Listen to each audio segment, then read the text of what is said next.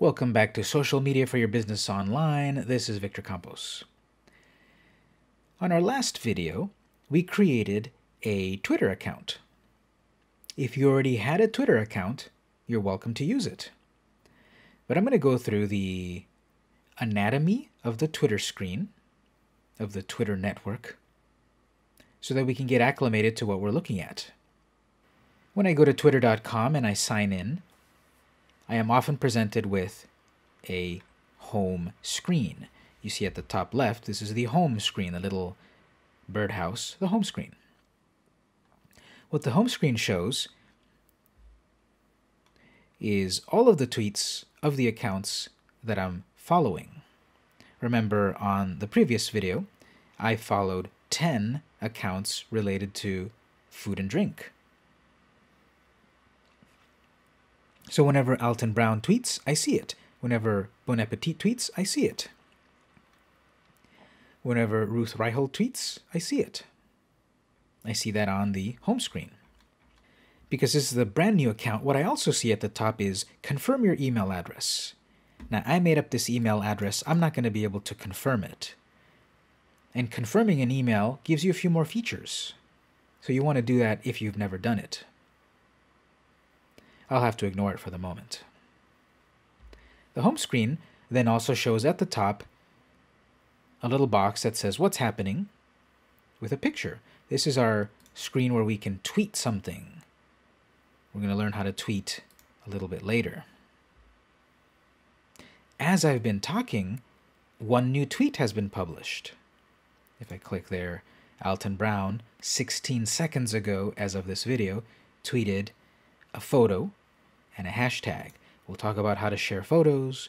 We'll talk about what hashtags are, of course. But the home screen anatomy is pretty dense because then at the left side, we've got a little bit of information about yourself. I'm Victor's Bakery. That's the full name. And I'm at Victor's Bakery 11. That simply means that if I if you were to go to twitter.com slash Victor's Bakery 11, you would see the account I've created here. It may not last very long because I'll probably delete it by the end of this class. But that username would be, for example, PMD Interactive. That's the Twitter account of my business. So in this case here, Victor's Bakery 11 is the username, and Victor's Bakery is the full name. This can be edited, and we'll look at editing that later. So far, I have zero tweets. I haven't interacted yet. And I am following 10 Twitter accounts. I have zero followers. There's no listing of followers. You may see a gauge about how complete your profile is. You will want to complete your profile, and we'll do that a little bit later. On the left side, you may also see a trends box. These are trends, these are things that are hot at the moment on Twitter. Well, who decides what's hot? The people decide what's hot. People are tweeting about Richard Sherman, Seth Roberts, Black Friday, etc. People are tweeting about these topics. Therefore, they appear here. Some of them may be promoted, but most of these are organic. People are talking about this. And if you go off and explore, change the trend here, you'll see different trends. We'll talk about this later as a, an important aspect to get followers. On the right side, you may see who to follow, and you're going to get suggestions. You'll get more suggestions the more you use Twitter, and the point of suggestions are for you to connect with accounts that may be valuable to you for your business. Always think in terms about how is this valuable for my business? Well, I don't want to see this name, so I'll close it. I don't want to see this name, so I'll close it. I'll close this name. You can spend all day long closing these things, but they're not really going to go away. So, you may see live video Twitter and more networks are getting into live video streaming. What's happening live right now? So I can go watch it if I'd like. There's various other screens, help, and so forth. Advertise with Twitter. And then a long string that goes on and on and on and on of tweets. You probably won't get to the end, especially of accounts that are popular, that have been active for years. Remember, Twitter's been around a decade, so you're never going to run out of tweets. That's a really nice photo of Anthony Bourdain.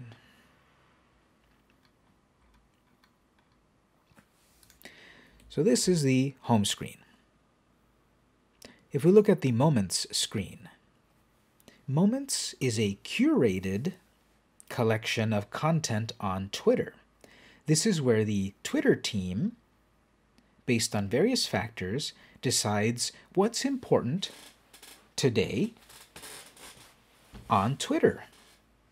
So yours may change by the time you log in.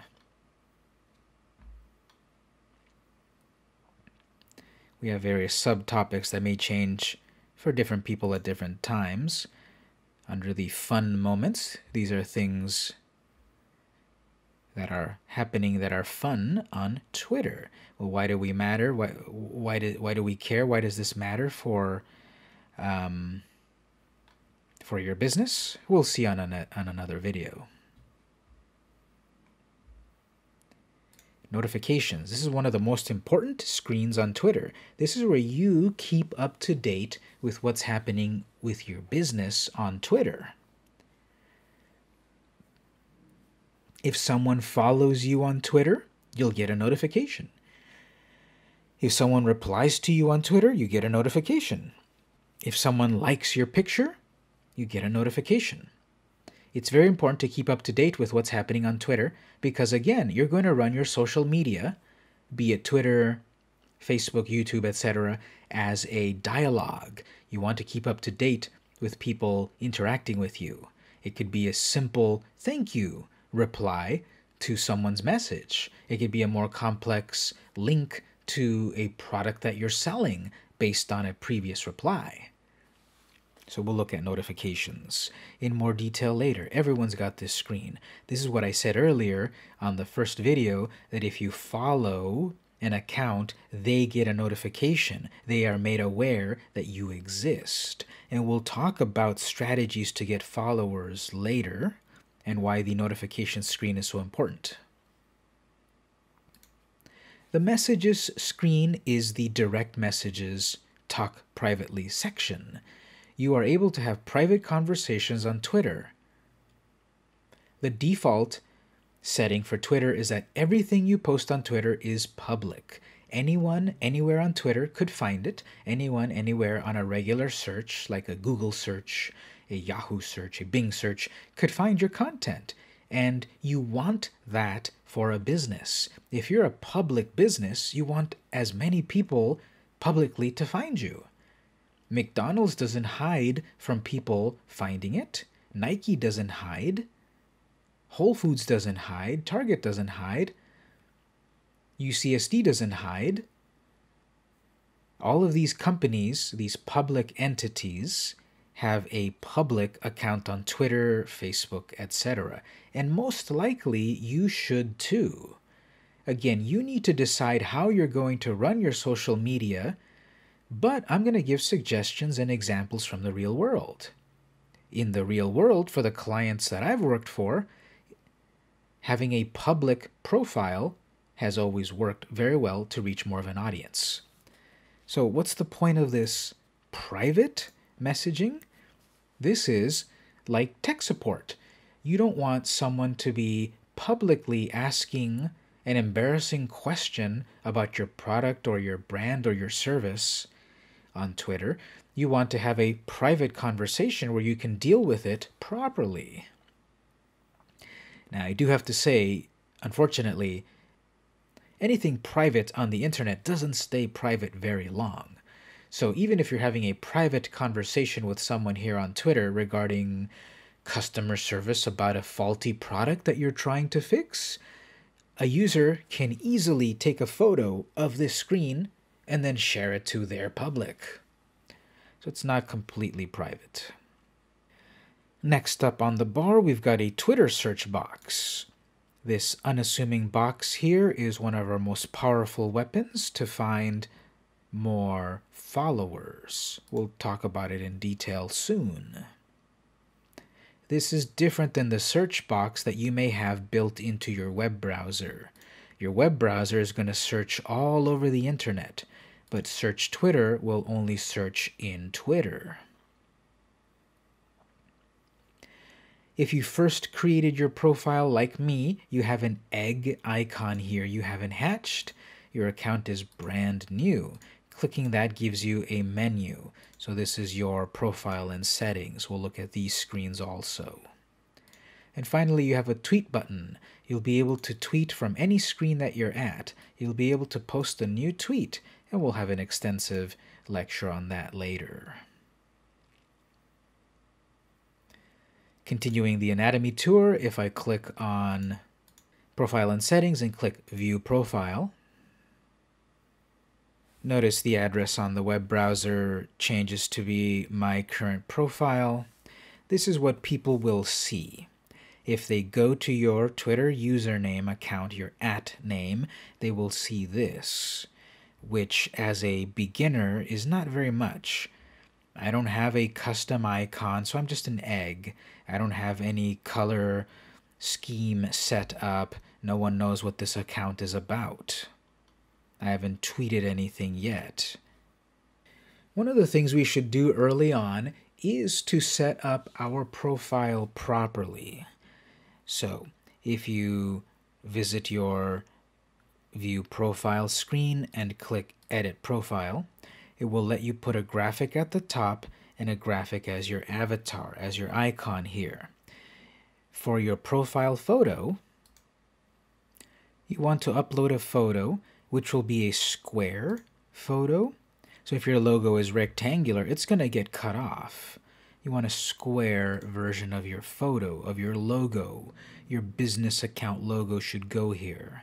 So for practice, if I upload let's say I've got a photo and notice it's only square sized. So what size should I make this? The bigger the better, that way it's got the most quality and the most leeway for you to use. You want to put your company logo here and hopefully readable enough and recognizable enough for people.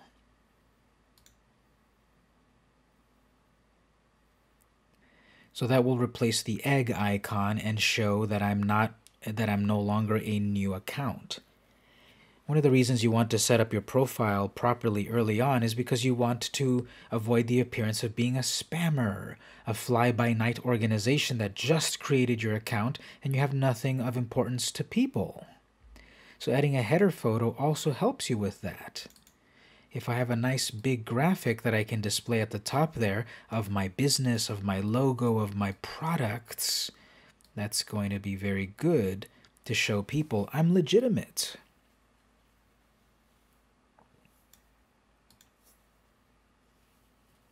I'm not a spammer. I will entice people to follow me if I look like a legitimate business.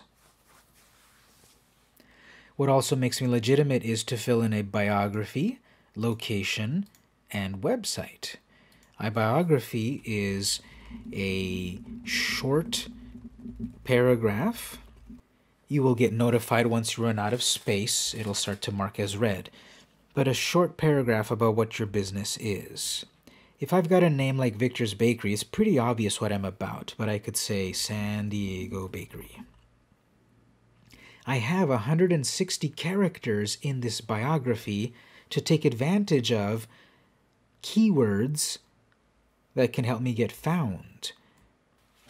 Again, thinking about in terms about what can I do to benefit my business online, I could write something like San Diego Bakery, specializing in healthy fare and kid-friendly treats. So if someone is searching Twitter or Google Bing, etc., for these keywords such as healthy snacks, healthy treats, kid friendly cooking.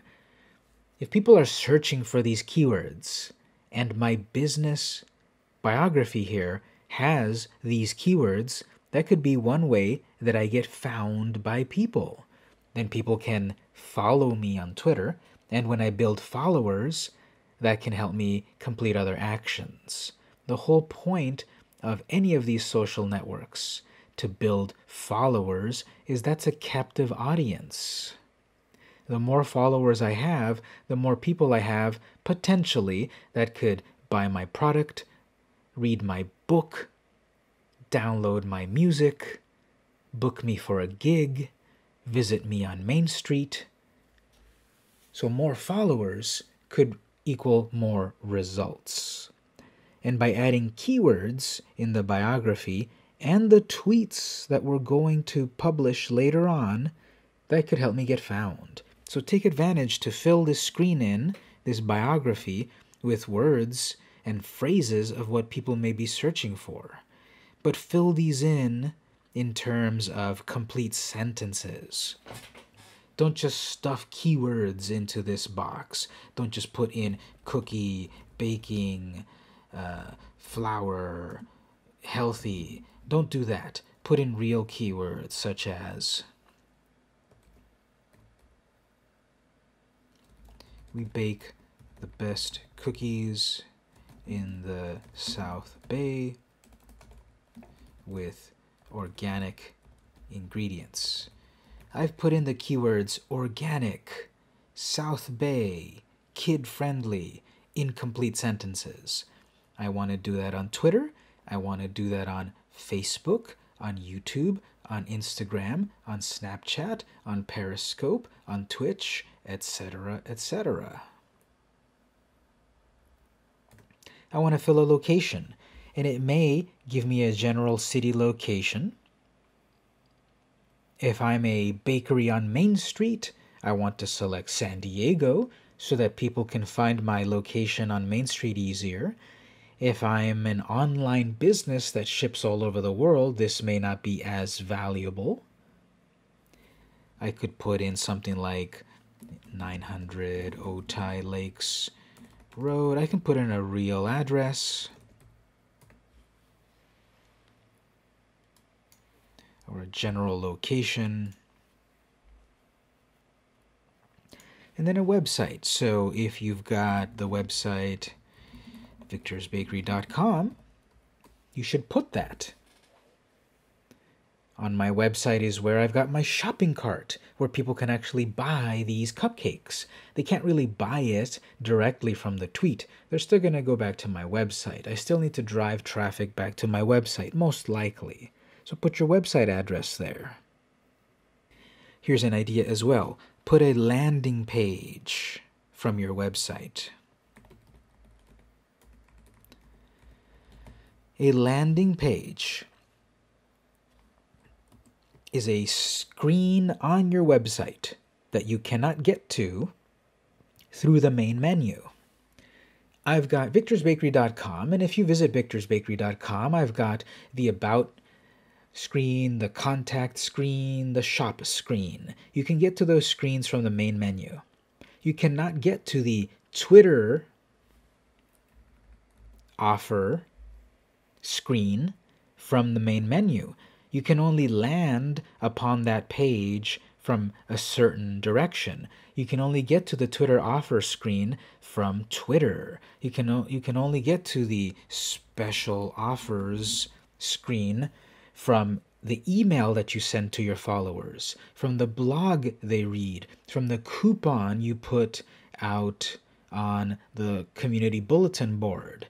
A landing page is a screen that you can only get to from a special link from not the main menu. So obviously that's out of the scope of our class how do you create a landing page.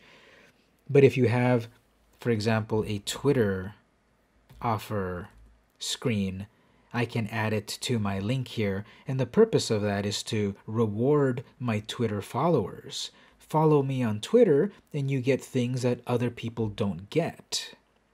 I'm going to tweet links later on that people can only get to if they pay attention to me on Twitter. That's how you get one of the ways how you get people to follow you on Twitter or Facebook or whatever. Share content that entices people to follow you.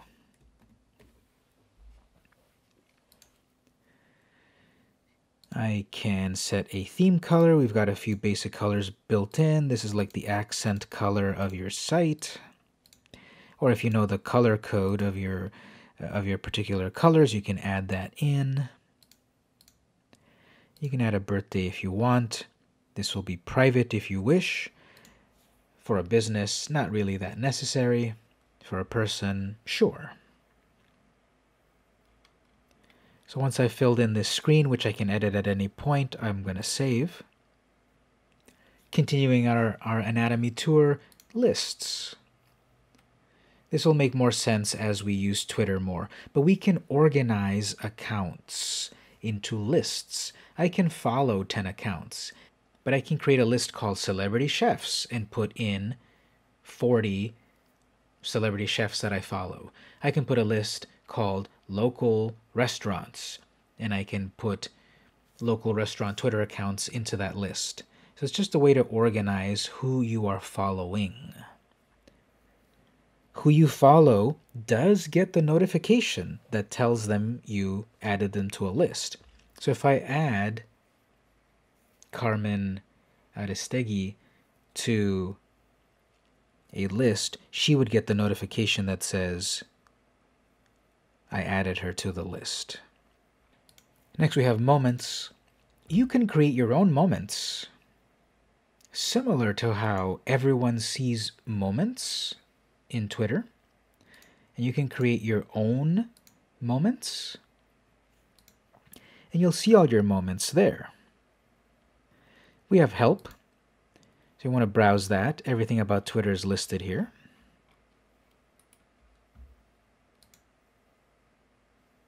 There are keyboard shortcuts that you may want to learn so that you can quickly reply to people, look at your lists, etc. And then settings. This is a very extensive screen that I will have a deeper lecture on in the next video. But to this point, you should browse the various Twitter screens to get acclimated to with what you have to work with and then we're going to look at settings extensively next time. This has been Victor Campos.